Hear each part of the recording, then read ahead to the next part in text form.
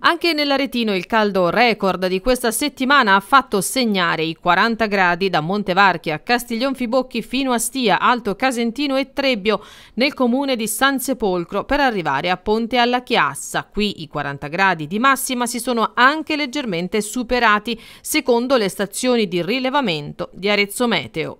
Allora, ci sono dei record, però siamo comunque un'associazione amatoriale e ci sono gli enti appositi che emanano continuamente dati, ma ci sono dei record un po' in tutto lo stivale. Noi abbiamo una rete di monitoraggio amatoriale, di webcam e di stazioni meteo, che comunque sono sotto monitoraggio e comunque diamo anche dati scientifici a chi serve, che comunque continuano a sfornare record sopra record non solo nelle nostre stazioni ma anche di altri colleghi di Siena, Firenze e così via. Ancora poche ore e l'AFA, dicono gli esperti, mollerà la presa. Nel nostro territorio la fortuna è stata l'escursione termica, in altre località non è stato così, le grandi città in testa. Abbiamo la fortuna che stiamo in una città, abitiamo in una città che è Arezzo, che comunque ha una forte inversione termica e quindi di notte ci fa respirare, ma è garantito che nelle altre città non funziona così. Arezzo pensate che è una delle città più fredde d'Italia di notte d'estate. Quindi ci dobbiamo ritenere fortunati? Assolutamente sì, assolutamente sì. Grazie a queste montagne eh, che siamo un po' all'interno del preappennino,